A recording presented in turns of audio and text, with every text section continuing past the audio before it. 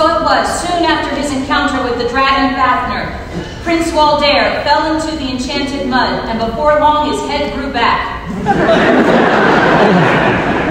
Whereupon he married the Princess Brumhilda, and in the tap